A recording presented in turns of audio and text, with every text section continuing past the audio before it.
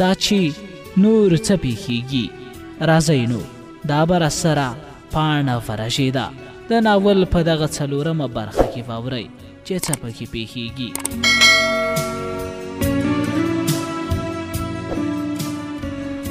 کله چې مې سترګې پرانیستې ومې لیدل ملهې زما سر پر خپل زنګون ایښی دی او زما پر مخ یې د خپل اوښکو د مخنیوي لپاره دسمال په لاس کې نیولی دی. ما ته نارې وهي، خو موټر په خپل سرعت په غرونو او دښتو کې لار لنډوي. هغه لا اوښکې تویوي او زما په ننداره بوخته ده. غوښتل مې چې د هغې له لمنې خپل سر اوچت کړم، نو ومې لیدل چې د خوځېدو توان او زور نه لرم.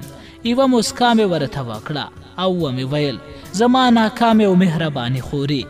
د بدمرغۍ تورې اوبه زموږ تر سر اوښتې دي. دا وحشیان چې تر ذرې ذرې پورې زما او ستا په خوړلو بوخت دي، تر هغه مهاله چې د خپل ښکار ګوله په بې رحمۍ سره ونه ژوي، له ما او تا څخه لاس نه اخلي، نو ژړا څه ګټه لري؟ زما د سترګو چینې وچې شوې دي. یو څاڅکی اوښکه هم پکې نشته. اوس چې ټاکل شوي موږ د انسانیت قرباني شو او د دوو چوغکو په شان د دغه خونخوارو په لاسونو اسیران شو نو ښه دا ده چې په موسکو شونډو او جرأت سره دا نظر ادا کړو او دا ټولې سختۍ وزغمو کیدای شي د ژړا شدت په دغه کسانو کې د یوې ذرې په اندازه عاطفه او رحم وخوځوي او په دویو کې د انسانیت یو پټ حس رابیدار کړي خو زه نه غواړم چې د دغه جنایتکارانو عواطف ځان ته تحریک کړم بلکې زه دا غواړم چې دویو په خپل همت بدچلندۍ او ظلم کې پاتې شي هغه عذاب او کړاو چې د دویو لخوا موږ ته راکول کیږي پر خپل وخت را په برخه کړي ځکه عالیه احساسات په هغه کسانو پورې ځانګړي وي چې له هره اړخه توانیدلي ځانونه انسانان معرفي کړي او د نیکۍ پر شاوخوا راوګرځي له دې کبله عاطفه او رحم هم باید د همغه کسانو صفات او ځانګړتیا وي دا به د ډیر تاسو ځای وي هغه کسان چې موږ ورسره اسیران یو د دغه احساساتو خاوندان شي نو ښه دا ده چې د دویو کړاو او ستونزې په ورین تندي ومنو چې د انسان او حیوان ترمنځ مو یو اختلاف ټاکلی وي سمه ده دوی هم په بڼه کې د انسانانو قواره او څرنګتیا لري خو انسانیت په سترګو، وریځو، غوږ، پوزې، مخ او د دوو پښو په تګ کې نه دی، بلکې په هغه فضایلو او ځانګړتیاو پورې اړه لري چې له لوړ مقام څخه به ورته راصادریږي او ورسره یو کیږي به. خو که په بڼه وی، بیزو هم د انسان بڼه لري، کاشکې دوی د بیزوګانو له جنس څخه وی، ځکه هغوی خو خپل جنس ته ازار نه رسوي، خو دا ډله خلک چې له شهوت، نفس پالنې او نورو خلکو ته له ازار رسولو پرته بله لار نه لټوي، غوره دا ده چې په خپلو عقایدو، اعمالو او افعالو کې پاتې شي چې د ښو او بدو ترمنځ د امتیاز باب وي. ملحې زما خبرې په غور سره واورېدې او اخر یې ویل، ته په دې فکر کې یې چې همداسې غلي کښېښنو او د هغو په لاس اسیر واوسو؟ ومې ویل. له دې پرته بله چاره یا هم د تېښتې لار لرو؟ ووایه. پر دې مهال مې د هغې و خندا غږ واورېد چې په مسخره سره یې ویل، ولې د تېښتې یوه لار شته، هغه هم مرګ دی. اوس به، هغې ته هم تر هغه وخته نه شئ رسېدای چې موږ ستاسو په اړه خپله نقشه نه وي ترسره کړي. خو قول درکوو چې ارزانه به مو نه پلورو، ځکه دا ځل د خرڅلاو لپاره تر ټولو ښکلی او ارزښتمنه متاع لرو. چې تر اوسه مو نه وه ترلاسه کړې نو باید وړیا یې له لاسه ورنه کړو ما او ملهې ځواب ورنه کړ وی ویل وږي نه یاست که څه هم وږي نه وو خو په ځان کې مو ډېره کمزوري احساسوله په پیل کې مې ځان دې ته چمتو کړی و چې په هیڅ ډول به څه نه خورم چې د لوږې له کبله له منځه لاړ شم خو څرنګه چې تصمیم مې ونیو دا بدمرغي به په مېړانه او د نفس په عزت سره وزغمم، نو د دې لپاره چې د دیانت، د قانون او اصولو پر خلاف مې چلند نه وي کړی، نو له ځواب پرته مې یوه ټوټه وچه ډوډۍ راکش کړه او ملېحې ته مې وویل، ګرانې خورې! راځه ډوډۍ راسره وخوره. ویې ویل، ته غواړې د دغه خلکو ډوډۍ وخورې؟ ومې ویل، هو، د دې ډوډۍ خوړل هم یو ډول عذاب دی چې باید ویې زغمو. ساتونکي کس وویل، اوس هوښیارېږئ، زه پوهېدم چې لوږه به درباندې زوروره شي او ډوډۍ خوړلو ته به اړې شئ. اوس چې داسې ده نو دا پخې هګۍ هم ماتې کړئ او ویې خورئ. دا ستاسو د خپل وطن رېشت د چرګانو هګۍ دي چې ما په هغه قهوه خانه کې د لارې لپاره تیارې کړې، خو ما او ملیحې یوازې وچه ډوډۍ وخوړله، یو څه اوبه مو هم وڅښلې او تر یوه حده مو لوږه لرې شوه. تر ډوډۍ وروسته موږ دواړو ته خوب راته که څه هم لمر په لوېدو وو او داسې ښکارېده چې همدان ښار ته رسېدلي یو نو د خوب مخنیوی مو نه شو کولی دواړه ویدې شولو یو وخت پوه شوم چې لاسونه پښې او خوله مې راتړي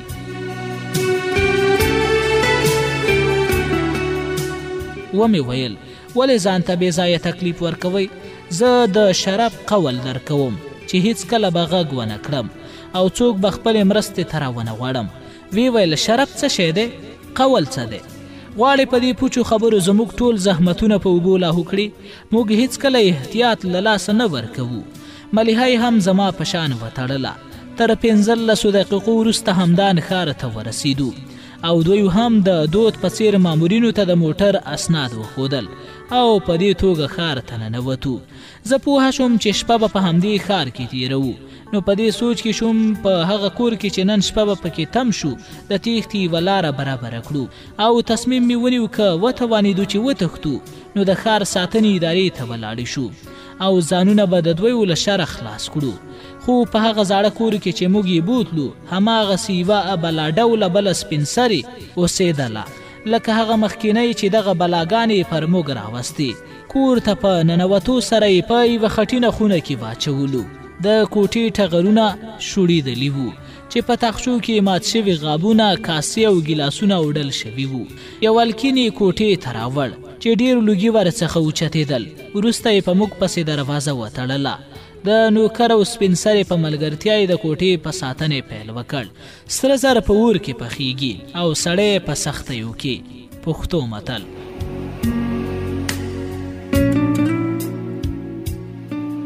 شپږم څپرکی نیکمرغي رښتینې معنا نه لري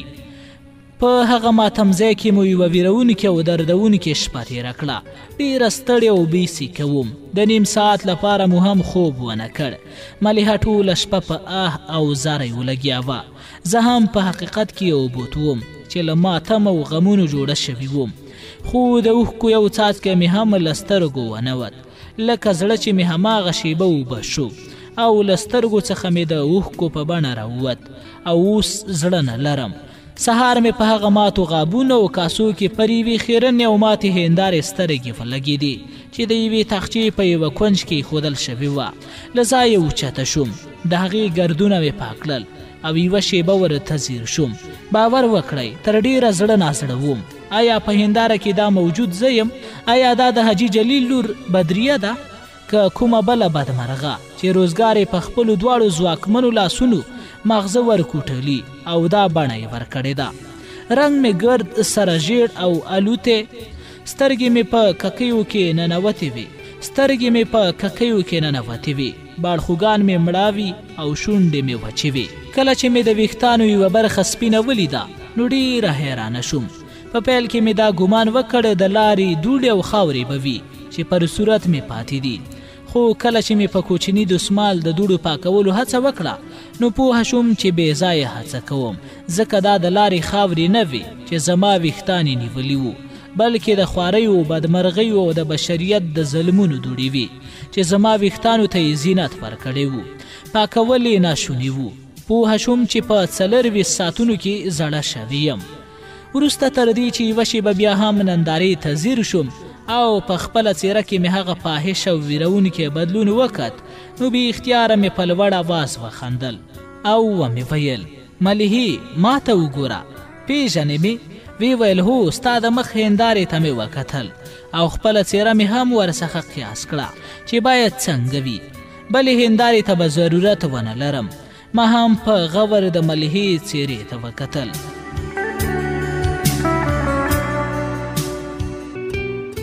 هغه هم زما په شان ډیره ډنګره او ژیړه شوې وه یوازینی توپیر یې له ما سره دا و چې د ژړا له کبله یې سترګې سرې او پړسېدلې وې د ویښتانو رنګ یې بدل شوی نه و سهار په داسې حال کې چې هغې سپین سرې مو څارنه کوله د باندې وتو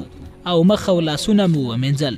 وروسته تر دې چې بیرته کوټې ته ننوتو د کور نوکر له دوو پیالو چایو او په یوه غاب کې له څه پنیر سره چې په یوه خیرن پتنوس کې ایښی و راغی یو دوه ګولۍ ډوډۍ او پنیر مو وخوړل او د هغو پیالو چای مو هم وڅښلې چې ښکارېدل په ژوند یې نه دي مینځلي، خو په دې موده کې موټروان او هغه بل نه ښکارېدل، دویم ځل یې چای هم راوړلی شو، پر دې وخت موټروان او ملګري راننوتل او ویې ویل، ژر شئ چې ځو. ومې ویل، نور چېرې ځو؟ هر کار چې کوئ همدلته یې ترسره کړئ، نور زور او کړاو مه راکوئ.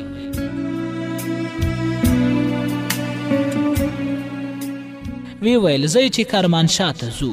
ولې کرمانشاه څه لري چې همدان یې نه لري وی ویل زموږ باید په کرمانشاه کې پای ومومي همدان مو مقصد نه دی زه خو هیڅ نه پوهیدم زموږ په اړه څه خیال لرئ خو یو خیال مې درلود چې موږ به خپلوئ موږ هم تصمیم نیولی وو هر څنګه چې کیږي ځانونه به وژنو خو هغیو ته به نه تسلیمیږو بیا هم د هغیو په موخه نه پوهیدو بیا مې ګمان وکړ چې کریمن شاه به یې وطن وي او غواړي خپلو کورونو ته مو بوځي خو لهجه یې د قزوین او د هغه شا و خوا سیمو خلکو ته نږدې وه چې ورته حیرانه شوم د خپل جنایت په څیزونو یې زموږ خولې او لاسونه وتړل او له کوره یې ویستو موټر د کور مخې ته ولاړو تر سپریدو وروسته د لسو دقیقو لپاره په تنګو او کږو وږو کوڅو کې وګرځیدو موږ یې له یوې بلې لارې ویستو او په بیړه روان شول زه حیران شوم ځکه یو خو له دروازه ساتونکو مامورینو سره مخامخ نه شولو آن د ښار په دوه پرسخۍ کې مو هم ونه لیدل خو وروسته ځیر شوم چې له بلې لارې له ښاره بهر کړي یو د دې کار په علت وروسته وپوهېدم دوی دا پلان درلود که چا څارل نو ورڅخه ورک به شي او پر لار له ځانه نښې پرې نږدي لنډه دا چې د هیواد د پولیسو څارنه او تفتیش شنډ کړي او په همدان کې د استوګنې په پلمه تیر باسي موټر په ډېره بيړه لار لنډوله، څرنګه چې له دې وضعې سره مې عادت پيدا کړی و، نو په لاره کې مې غرونو او دښتو ته کتل. تر يو دوو ساعتونو وروسته د اسداباد ګردني ته ورسېدو، له هغه ځايه هم واوښتو. په لاره کې مو ګڼ شمېر نور موټرونه هم ليدل، چې زموږ پر مخالف لوري روان و، خو زموږ غږ په هيڅ ډول نه وررسېده، ځکه موټر په ډېر سرعت سره روان و او د موټر غږ د نورو اوازونو مخنيوی کوه. غرمې ته دوه ساعته پاتې وو چې یوه سمسور او ښکلي کلي ته ورسېدو چې ویل دا صحره نومې ځای دی ښکلې طبعي منظر یې لرلې وی ویل لکه څنګه چې ښکاري کرمانشاه ته تر دولس پرسخو زیاته لاره نه ده پاتې له بلې خوا موټر چلوونکي او زموږ ساتونکي په ویره کې وو او داسې ښکارېدل چې له ورځني سفر څخه خوښ نه دي کلي یانې صحنې ته لا نه وو رسېدلي چې دغه دواړو بیا سره خبرې وکړې خو د دویو له خبرو مې یوازې د تاق بوستان نومي کلي نوم واورېد داسې ښکارېدل چې کومه بله ژمنه هم سره لري تر خبرو وروسته موټر هم نه تر خبرو وروسته موټر نور هم تیز کړ او تر څو دقیقو وروسته له نوموړي کلي واوښتو که څه هم پر لاره د ډیرو قهوه خانو له مخې تیرو شولو چې ګڼ شمېر خلک پرې راټولو خو نه پوهېږم ولې مې د کلي د قهوه خانې له مخې د تېرېدو پر وخت چغې کړې مرسته را سره وکړئ که څه هم ډاډه یم چې غږ مې له ګاډۍ ونوت او که ووت چا وانه ورېد پر هغه مهال هیڅ چا هم نشول کولی له موږ سره مرسته وکړي ځکه ګاډی ډېر تیزو خو دا چغه د دې سبب شوه چې زموږ د ساتندویانو د موټر سرعت نور هم ډېر کړ کله چې له کلیو پر سخ لرې شولو، شا ته یې په غور وکتل. کله چې یو کوم ګاډی نږدې ونه لید، نو ګاډی یې ودروله. موټر چلوونکي او زموږ ساتندوی ډېره ووهلم. په سوکانو او لغتو یې ډېره زهیره کړم. زه نه شم کولای د هغې شېبې د درد او الم تاثر څرګند کړم. چې د هغې د وحشیانه چلند له کبله مې څنګه وضعیت درلود. ملیحه هم زما د پلوۍ په ګونه ووهل شوه. کله چې زه په هغه دردونکي حالات کې تر لغتو او سوکانو لاندې ونیولم نو د خپلو ویښتانو په کشولو او د ځان په وهلو یې پیل وکړ زه هغه مهال هغې ته ځیر وم نه ځان ته د هغې تر لغتو لاندې مې ملحې ته نارې کړې ځان ته تکلیف مه ورکوه پرېږده دا سړي خواره چې هر څه کوي ویې کړي. وروسته یې زموږ خولې، پښې او لاسونه وتړل او ویې ویل، تر مازدیګره چې کریمنشاه ته رسېږو په همدغه حال کې به یاست. ومې ویل، هر څه چې مو له لاسه کېږي ویې کړئ، خو نور غچ اخیستونکي او خدای جل جلاله شته چې د دې چلندونو له کبله به له تاسو څخه زموږ غچ واخلي. کله چې یې زه ټینګ وتړلم په ګاډۍ کې یې وغورځولم او سپاره شول. د تبې او ستړیا له کبله په ژور خوب کې ډوبه شوم خو وروسته پوه شوم چې ویده نه وم بلکې بې سده شوی وم ځکه یو وخت پوه شوم ملیحه مې سر ته ناسته ده او سړی اوبه راباندې پاشي په لوړ غږ زما نوم اخلي او ژاړي سترګې مې پرانیستې د یوه لوی چینار سوري ته پرته وم سوړ باد چلیده ومې غوښتل چې وخوځېږم خو د درد له کبله مې ونشو کړای، ځکه داسې مې احساس کړل چې ټول هډوکي مې مات شوي. پر دې مهال مې سترګې بیا له اوښکو ډکې شوې او دوه ساعته مې وژړل. په حقیقت کې د غم او خواشینۍ پر مهال ژړا ډېره ښه دارو ده، ځکه وروسته تر دې چې مې په خپله خوښه وژړل، په ځان کې مې یوه ارامتیا حس کړه. وروسته مې ونې ته تکیه ووهله او کېناستم. مخې ته مې د اوبو ډنډ ولید چې د شمال په سل قدمۍ کې د غرونو لړۍ پیل شوې وه او د غره په لمن کې مې دوه لویې کوټې چې په لرغونو اثارو او ډبرینو مجسمو ډکې وې ولیدې. ومې ویل ملهې دا کوم ځای دی؟ وایې دا تاق بوستان دی. دا نوم راته ډیر اشنا ښکاره شو خو هر څومره مې چې چورت وواهه چې چیرې مې اوریدلی را په یاد نه شول شاته مې وکتل په ځان کې مې ډیره بسیاري کرکه حس کړه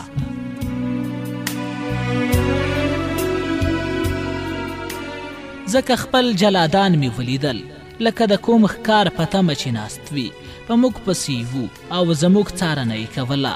مخ مې ترې را وګرځوه او مخامخ هغه له جلال او عظمت څخه ډک طاق ته ځیر شوم، لرې مې څو ماشومان ولیدل چې لوبې یې سره کولې، یوه سپین سرې یې مخې ته ناسته وه او وړه یې وریشلې، هاخوا دوه کسان سره ناست وو او خبرې یې کولې، د هغیو ازادي او په ځانګړي توګه د ماشومانو لوبې دومره اغیز راباندې وکړ چې بې اختیاره مې یو آه ووکه او ملیحې ته مې ویل، آیا خدای جل جلاله تر ازادۍ بل ښه نعمت پیدا کړی دی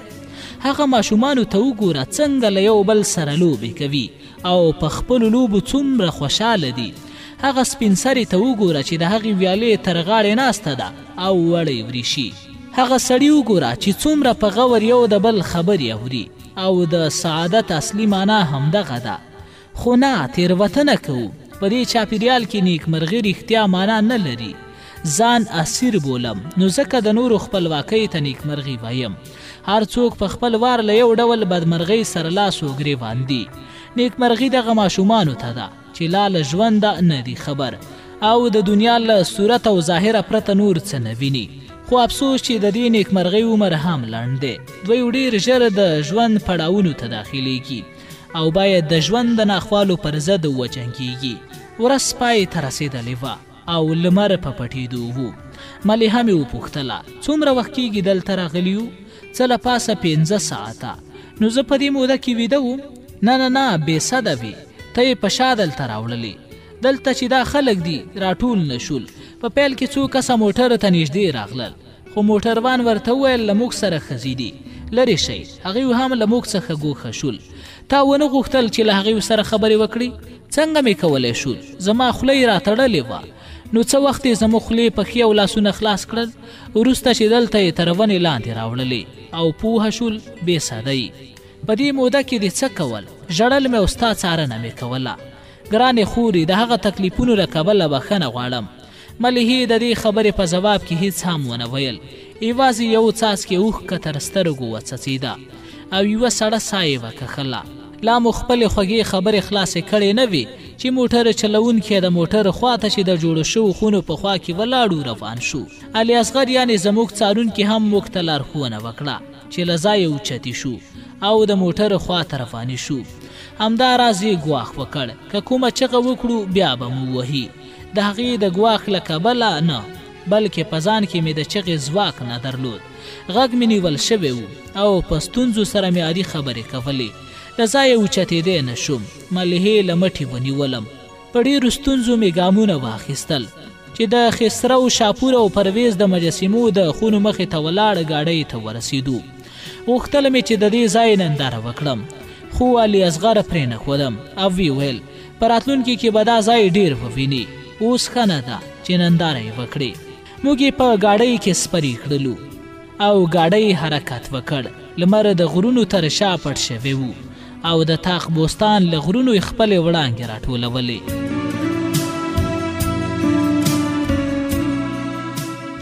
که یو څاڅکی اوبه تږي لره ورکړي که یو څاڅکی اوبه تږي لره ورکړي د دوزخ او ستا ترمنځ به شي دریاب رحمان بابا اووم څپرکی سکينه وروسته تر دې چې له تاخ بوستان څخه يو څه لرې شولو نو والي اصغر وويل، ښار ته تر رسېدو پورې به همدا يو ساعت زموږ لپاره ستونزمن وي، نور به هيڅ ستونزه نه وي او له خوښۍ يو ډک ژوند به پيل کړئ. نو د وروستي ځل لپاره اړ يو چې ستاسې خولې، پښې او لاسونه بيا دروتړو. خو ښار ته په رسېدو سره به ټول زيانونه جبران شي. څرنګه چې له دې چلند سره روږدي شوي وو، هيڅ ځواب مو ورنه کړ. او ورته تسلیم شولو. هغو هم په ډیره ارامۍ سره خپل کار تر سره کړ او روان شولو. د سیند له لرګین پله څخه واوښتلو او د ښار خوا ته وړاندې لاړو. دروازه ساتونکي مو تر سترګو نه شول خو نور خلک ډیرو چې د تفریح لپاره د ساحل څنډو ته روانو. په ټوله لار کې مو څوک مخې ته را نه غی. موټر په ډیرې ازادۍ سره ښار ته او وروسته ډیرو تنګو او خیرنو کوڅو ته ننوت. تر څو کوڅو وروسته د یوه وروسته پاتې کور مخې ته ودرېد کله چې ښار ته راننوتو نو د شپې یو ساعت تیر شوی وو موټر چلوونکی ښکته شو او دروازه یې وټکوله څو دقیقې وروسته ور خلاص شو او موټر چلوونکي ویل سکینې السلام علیکم دواړه سره غاړې وتل او یو بل یې ښکل کړل بیا یې ویل غږ مه لره بیا یې پټې خبرې سره وکړې تر هغې وروسته میرمنې ویل هیڅوک هم نشته راښکته یې کړه. موټر چلوونکي ور پرانیست او ویې ویل، علي اصغر! دوی کور ته ننه باسه. هغه مهال خلک زموږ په شا و خوا کې تلل او راتلل. یو دوو ماشومانو زموږ موټر ته کتل، موږ یې ښکته کړو او هغه کور ته یې بوتلو چې یو اوږد او تیاره دهلیز یې درلود. په دهلیز کې موټر چلوونکي هغه ښځې ته وویل، علي چیرې دی؟ په کور کې دی. ژر یې د باندې راولېږه چې پر موټر پام وکړي چې وروسته یې ګاراژ ته بوځم.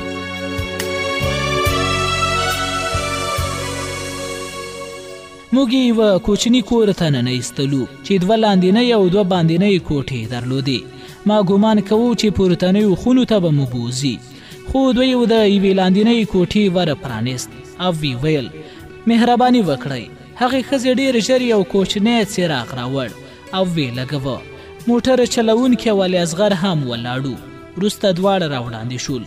مخکې له دې چې زموږ خولې او لاسونه پرانیزي، موږ یې ښکل کړلو. په دې کار دومره په غوسه شوم چې هر یوه ته مې کلکه لغته ورکړه.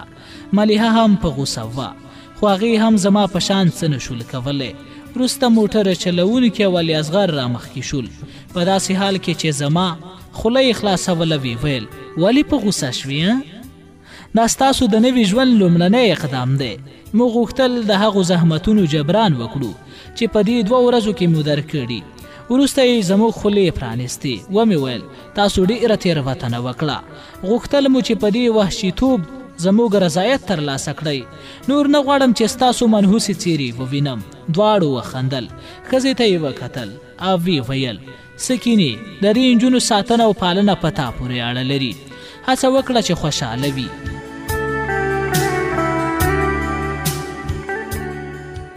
سکینه یوه توربخنه چاغه ښځه وه چې څلوېښت پنځه څلوېښت کلنه ښکارېدله ویې خندل په غوړېدلې څېره رامخکې شوه او ویې ویل انجونو ښه راغلاست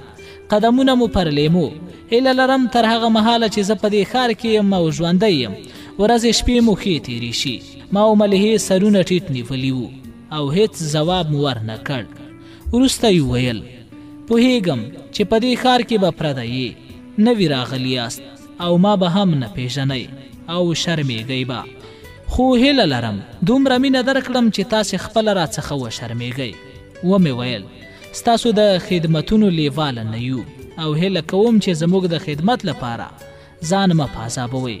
ځکه تاسې به د خپلو مینو او خدمتونو له کبله زموږ یوه وړه مننه او رضایت هم ترلاسه نه کړئ له مور او پلار او خپلوانو څخه د دوو بې تجربه انجونو غلا کول او یوه داسې ښار ته یې راوستل چې له خلکو سره هیڅ نه پیژني په سادګۍ سره نه دی ترسره شوی، دا د یوې ماهرانه نقشې طرحه ده چې طراحان یې ډېر ښه تر ودي ووتل او څرګنده ده چې د دې کار ترسره کول شوخي او ټوکې نه دي، د هغې تر شا زموږ لپاره مقصدونه لري، نو له شک پرته به یې هم له غړو څخه یې، خو هغوی خپل جنایت له انسانیت او شرافت څخه په خلاف چلندونو او وحشیګرۍ پیل کړ. تاسو یې د خندا او نرمښت تر پوښښ لاندې ترسره کوئ. له دې کبله ستاسو یوې خبرې ته هم ارزښت نه ورکوم او هیله لرم اوس چې پېښو او تقدیر ستاسو په ظالمانه منګولو کې غورځولي یو، له موږ سره خپل جنایت په خندا نه بلکې په بد چلندۍ او جدیت سره پیل کړئ او هر څه مو چې له لاسه کېږي له موږ څخه یې مه سپموئ.